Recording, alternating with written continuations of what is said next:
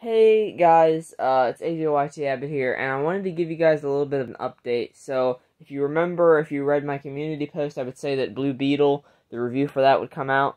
Uh, just the more I got thinking about it, it really is too late to just try and get on, you know, the Blue Beetle craze. It wasn't even a big craze, because it, it kind of bombed a little bit.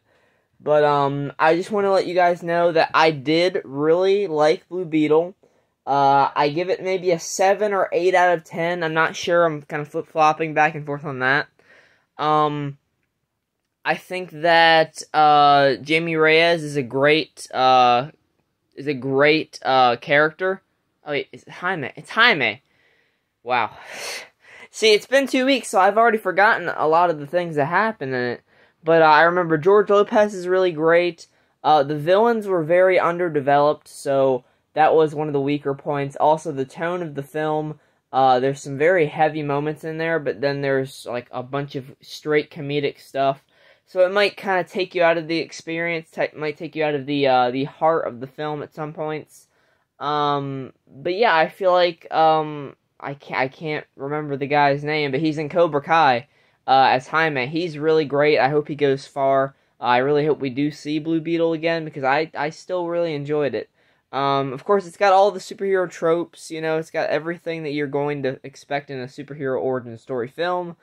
But I think there's just enough in there where it works and it provides a fun time at the movies.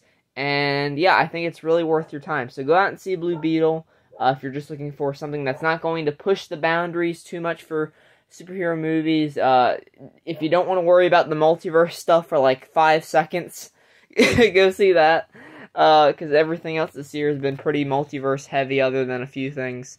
But uh, yeah, that's all I wanted to say. I've been focusing really hard on these Telltale Walking Dead videos, so that's what I'm going to continue to focus on. Now, as other movies come out, I am going to try and get those reviews out. It was just Blue Beetle. I fell way far behind with these videos, and uh, I wanted to give you guys an explanation. So, thanks so much for watching this mini review. I, I guess this is a review for Blue Beetle. uh, yeah, thanks so much for watching, guys, and I'll see you guys later. Take care and goodbye.